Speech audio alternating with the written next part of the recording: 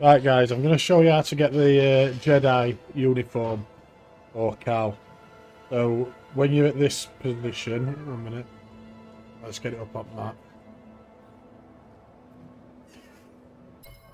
that. Uh, when you're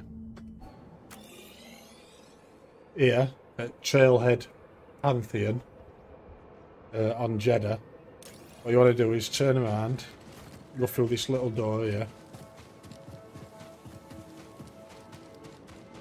run up these stairs, BD1, over here. do a wall of them around here.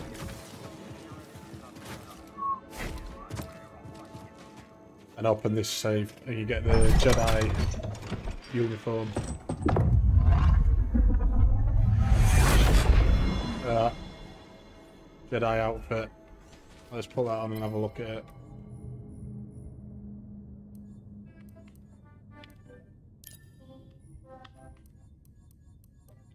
Get full set of it, so. There we go. Jedi outfit. So, thanks for watching.